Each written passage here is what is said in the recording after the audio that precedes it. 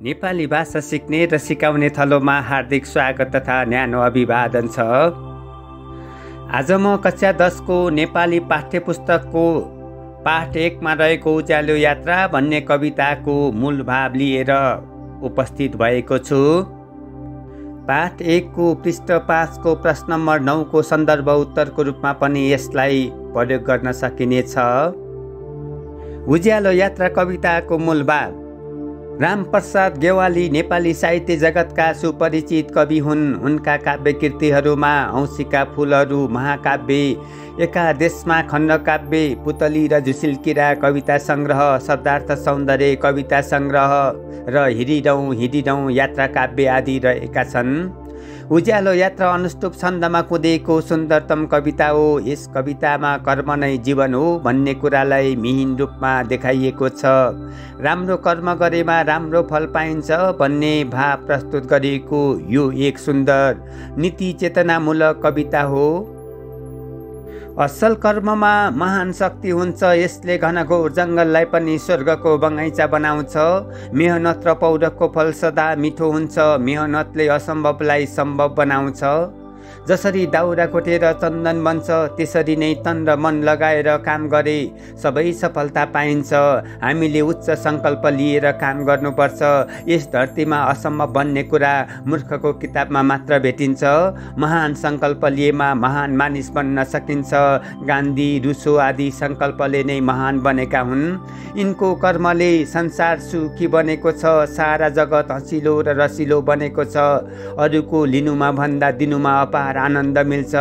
हाम्रो शास्त्रले पनि परोपकारलाई ठुलो धर्म मानेको छ। असल कर्मको फल नै स्वादिलो हुन्छ। यसरी नै ईर्ष्या र देशले हामी आफैलाई नष्ट गर्छ। यसलाई प्रेमको सुवासले हटाउन पनि सकिन्छ। प्रेम छर्ने सन्तहरू नै विश्वका अनन्त गौरव बनेका छन्। तिनको भावना र खुसीमा संसार बाँचेको छ। तिनले रातको चन्द्रमा बनेर यस धरतीलाई उज्यालो बनाएका छन्। चन्द्रमा जस्तो तिनको जीवन हाम्रा लागि पनि प्रेरणा हो। तिनको उच्च कर्मबाट आज हामी उच्च जीवन जिउन सफल छौँ। तिनकै बाटामा आज मानिसहरू गौरवले हिँड्न पाएका छन्। सारा ज्ञान जुटेर एक बन्दा धरती मनमोहक बन्न पुगेको छ। एक थुकी सुकी सय थुकी नदी भने चाहिँ धरतीको सुन्दरता ज्ञानको इटा थपेर नै सम्पन्न बनेको छ। न्यायका लागि उभिनेहरू हाम्रा आदर्श हुन्। तिनीहरूकै त्याग र बलिदानले संसारको शिर ठाडो भएको छ। तिनका असल कार्यबाट शान्ति र स्वतन्त्रता मिलेको छ। विश्व नै न्याय प्रेमीको अनुपम नासो हो। यिनले अन्यायको पासोबाट सबैलाई मुक्त गरेका छन्। लोभ र लालचले जीवनलाई बर्बाद बनाउँछ जो यसमा फस्दैनन् तिनको शिर ठाडो हुन्छ। आफ्नो जीवन त्याग्न पछि नपर्नेहरू नै महान कर्मयोगी हुन्। कर्म गरेर फलको आशा नगरी अघि बढ्नेहरू नै महामानव हुन्। यिनलाई विश्वले नै पुज्छ। कवि फेरि प्रश्न गर्छन् कि यस्तो पवित्र कर्मको यात्रामा कहिले चल्न सकिएला त? चन्द्र सूर्यको जस्तो कान्ति कहिले छर्न सकिएला त? अनि कवि अझ गहिरो भावमा हराउँछन्।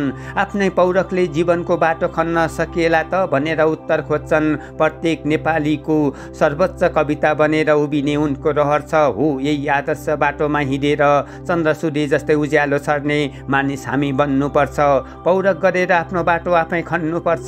कविताको कृतिमा कीर्ति राखेर सबैको कृतिमा रमाउनुपर्छ। कर्मलाई जीवनमा सजाउनुपर्छ। अनि मात्र जीवन जीवन हुन्छ। कर्म नै नै धर्म बन्छ। यस कविताको मर्म नै यही हो। अत दुई हरबका बाह्रवटा श्लोकहरूमा सजाइएको यो एक उत्कृष्ट छन्द कविता हो। असल व्यक्ति बन्न असल कर्म गर्नुपर्ने कुरालाई कविले आकर्षक तरिकाले यहाँ सजाएका छन्। यसबाट नै यस पृथ्वीमा बाँच्नुको साथ मिल्छ यसमा नै जीवनको सदाबार फुल फुल्छ। यसरी कर्मलाई पूजा गर्ने मर्म बोकेको यो एक उत्कृष्ट नैतिक सन्देश दिन सक्षम कविता हो।